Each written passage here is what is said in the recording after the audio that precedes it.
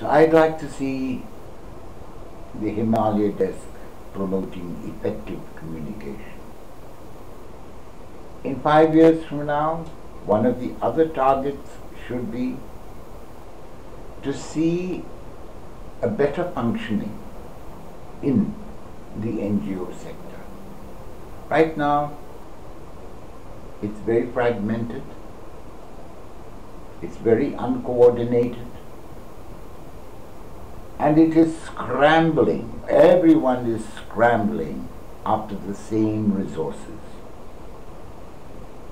So, a rather unhealthy, competitive,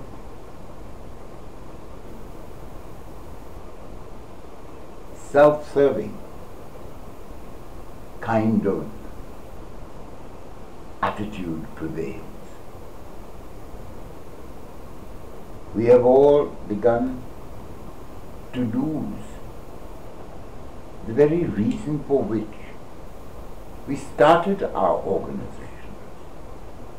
In this mad, uncoordinated, scrambling after the same resources, um, paying obeisance to corrupt elements,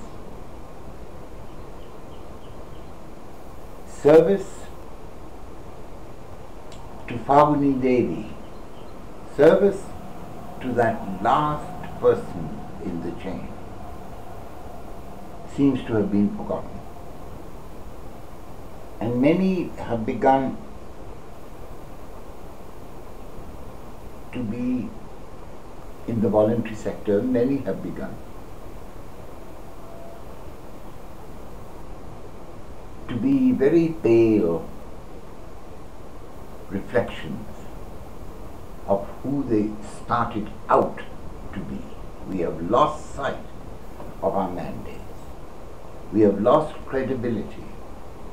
And the great expectations of the voluntary organizations of the 80s, in the decade of the 80s, there was this great